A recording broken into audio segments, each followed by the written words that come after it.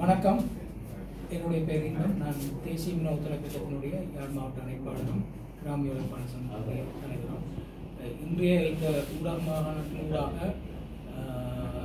விவசாயிகள் எதிர்நோக்கிற பிரச்சனைகள் தொடர்பாகவும் அவர்கள் எதிர்நோக்கிற பிரச்சனைகளுக்கான தீர்வை தேடுகின்ற வகையிலையும் நாங்கள் இந்த ஊடக மாநாட்டை நடத்துகின்ற அதே வேளையிலே தற்காலத்திலே இருக்கக்கூடிய மீனவர்கள் பிரச்சனையை சாதுவாக தொட்டு பேசலாம் என்று விரும்புகின்றேன். ஏனென்று சொன்னால் இப்பொழுது முல்லைத்தீவிலும் பூநகரியிலும் மீனவர்கள் தங்களுடைய தொழில் பாதிப்புக்கு எதிராக சில போராட்டங்களை முன்னகர்த்தி வருகின்றார்கள்.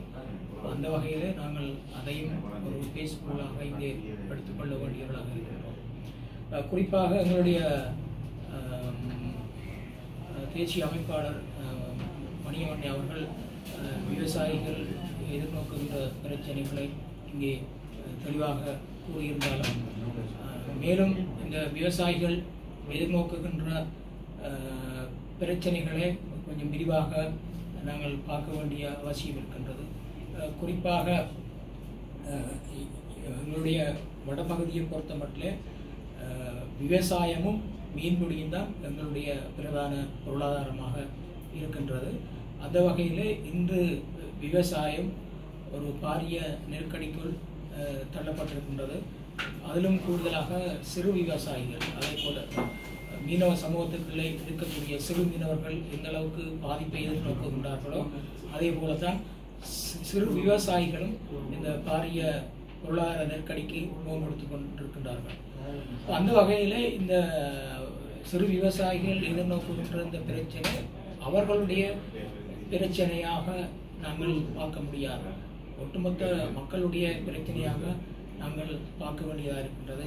ஏனென்று சொன்னால் இன்று இருக்கக்கூடிய விலைவாசி ஏற்றத்திலே எங்களுடைய நாட்டிலே மேற்கொள்ளக்கூடிய உற்பத்தி நடவடிக்கைகளை அந்த சிறு விவசாயிகள் தொடர்ச்சியாக செய்ய முடியாத ஒரு நிலை ஏற்படுகின்ற பொழுது அது ஒட்டுமொத்த மக்களையும் பாதிக்கின்ற ஒரு விடயமாக இருக்கின்றது. அதனுடைய என்னுடைய உற்பத்தி நடவடிக்கைகள் மேம்படுவதற்கு இந்த அரசாங்கம் கவனத்தில் எடுத்து அதுக்கான நடவடிக்கைகளை மேற்கொள்ள வேண்டும். ஒரு பக்கத்திலே சமூக ஆர்வலர்கள் அல்லது இந்த பொருளாதார மூழ்ச்சியிலிருந்து மக்களை மீட்டெடுக்க வேண்டும் என்று சிந்திக்கின்றவர்கள் வீட்டு வீட்டுத் தோட்டம் மற்றும் சிறு விவசாயிகளை ஊக்குவிக்கின்ற சில செயற்பாடுகளை செய்கின்றார்கள். ஆனால் அரசாங்கத்தினுடைய இந்த எரிபொருள் நெருக்கடியை ஏற்படுத்தி வைத்திருக்கும் இந்த சூழ்நிலையிலே இந்த விவசாயிகள் எப்படி எதிர்கொள்வார்கள்? அல்லது எப்படி அதை வெற்றி கொள்வார்கள் என்றது பெரிய ஒரு கேள்வியாக இருக்கின்றது.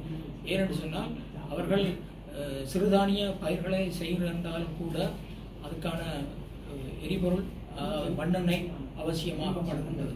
அப்ப இங்கே இந்த சிறுதானிய உற்பத்தியாளர்களை நாங்கள் ஊக்குவிக்க வேண்டும் என்று முயற்சி எடுத்தாலும் கூட இந்த விவசாய நடவடிக்கையை மேற்கொள்வதற்கான எரிபொருள் அல்லது இந்த மண்ணெண்ணெய் பிரச்சனை பெரும் பிரச்சனையாக காணப்படுகின்றது. இருந்து தங்களுடைய அத்தியாவசிய பொருட்களுக்கான பொருட்களான அரிசி மற்றும் சிறுதானிய உணவு வகைகள் இங்கே தாராளமாக இறக்குமதி செய்யப்பட்டாலும் அது அது அதி உச்சமான விலையில தான் இருக்கின்றது. அவை எங்களுடைய நாட்டில் இருக்கக்கூடிய இந்த உணவு தட்டுப்பாடுகளை அதாவது உணவு உற்பத்தி பொருட்களினுடைய தட்டுப்பாடுகளை சில அந்நிய வர்த்தக முதலாளிகள் தங்களுக்கு சாதகமாக பயன்படுத்தி கொள்ளுகின்ற ஒரு போக்கு அதிகரித்து கொண்டிருக்கின்றது. அவர்கள் இங்கே உள்ள விலைவாசி ஏற்றத்தை வைத்துக்கொண்டே மேலும் அதிகமான பொருளாதார சுரண்டலுக்கு ஏற்ற வகையிலே விலைகளை அவர்களே தீர்மானிக்கின்றார்கள் அப்போ இந்த நிலையிலே மக்கள் மோசமான ஒரு பொருளாதார நெருக்கடிக்கு தள்ளப்படுகின்றார்கள். அப்போ இதை இந்த இன்று இருக்கக்கூடிய அரசாங்கம் அதுக்கான ஒரு ஆக்கப்பூர்வமான முயற்சி எதையும் செய்வது போல தெரியவில்லை. ஆகவே சில ஆய்வாளர்கள் சமூக ஆய்வாளர்கள் சொல்லுகின்றார்கள் இப்போ இருக்கின்றதை விட இன்னும் அதிகமான உணவு பஞ்சம் ஏற்படுவதற்கான நிலைமை காணப்படுகின்றது. அது ஏற்பட போகின்றதுன்னு சொல்லி சில சமூக ஆய்வாளர்கள் கருத்து தெரிவிக்கின்றார்கள். இப்போ அந்த வகையில் நாங்கள் நோக்குகின்ற போது எப்படி இதை எதிர்கொள்வது? அப்படின்னு நாங்கள் பழைய தண்ணீர் வைக்கின்ற முறைக்கு செல்வதா அதுக்கு மக்கள் த விவசாயிகள் தயாராக இருக்கின்றார்களா என்று பார்த்தால் விவசாயிகள் அதுக்கும் இன்னும் தமிழை தயார்படுத்தி கொள்ளாத ஒரு நிலைமை காணப்படுகின்றது